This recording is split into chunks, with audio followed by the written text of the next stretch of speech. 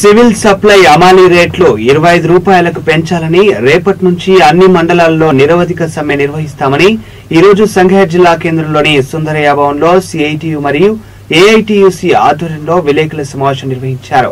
ఈ కార్యక్రమంలో CITU Rajaiah AITUC Babumiya తదితరులు పాల్గొన్నారు. ఐటీయూ ఏఐటీసీ టీఆర్ఎస్కేవి జేఏసీ ఆధ్వర్యంలో తెలంగాణ రాష్ట్ర అంతటా హమాలీ కార్మికులు సమ్మె చేయడం జరుగుతున్నది.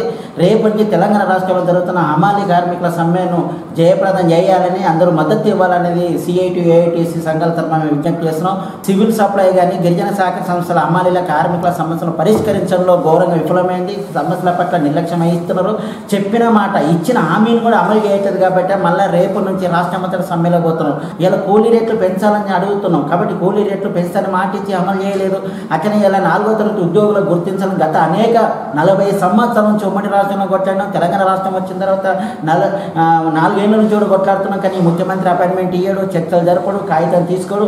అందుకే అమాలి కార్మికులు అనేది బతుకులు ఇలా దౌర్భాగ్యంగా ఉన్నాయి లేదా హీనంగా ఉన్నాయి అనేది వాస్తవం ఇవ్వాల అందుకే అమాలి కార్మికులను ప్రభుత్వ ఉద్యోగులకు గుర్తించాలని మేము డిమాండ్ చేస్తున్నాం. గత నుంచి అడుగుతున్నాం మీ ప్రభుత్వాన్ని. కానీ మాట ఇచ్చినట్టే మాట ఇస్తున్నారు అమలు చేయట్లేదు. అందుకే ఆ సివిల్ సప్లై కానీ గిరిజన శాఖ సంస్థలో పనిచేసిన అమలు కార్మికులకు కూలీ రేట్లు ఇరవై ఐదు రూపాయల వరకు పెంచాలని అట్లనే నాలుగో తరగతి ఉద్యోగులకు గుర్తించాలని అట్లనే యూనిఫాము కుట్టుకూలి అట్లనే బోనస్ అట్లనే ప్రమాద బీమా ఇవ్వాలి అందుకే సమ్మె నోటీస్ ఇచ్చాము. ఇది ప్రజా సంయుక్తంగా జరుగుతున్న సమ్మె. కార్మిక చక్రాల లోబడి సమ్మె నోటీస్ ఇచ్చిన సమ్మె ఇది.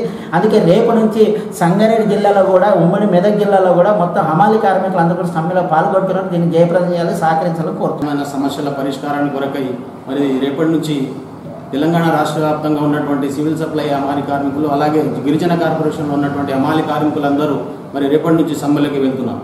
అమాలి కార్మికులు తెలంగాణ రాష్ట్రంలో దాదాపుగా నూట డెబ్బై రెండు మండల పాయింట్ల ద్వారా మరి అలాగే పదిహేడు వేల రెండు వందల రేషన్ షాపులకు నిత్యం అనునిత్యం మరి మన తమ వీపులపై వేలాది క్వింటాలు బరువు మోస్తూ మరి ప్రజలకు ప్రభుత్వానికి మంచి మంచి పేరు వచ్చేలా చేస్తున్న అమాలి కార్మికుల పట్ల ప్రభుత్వం నిర్లక్ష్యంగా వ్యవహరిస్తుంది రాష్ట్ర ప్రభుత్వం కలిసి ఈ కార్మికులను దోపిడీ చేస్తా ఉన్నాయి. అందుకే మరి హమాలిన న్యాయమైన సమస్యల పరిష్కారం కొరకు మేము ఈ సమ్మె చేస్తా ఉన్నాం. దీనికి గతంలో మేము సమ్మె చేసినప్పుడు కూడా పాత్ర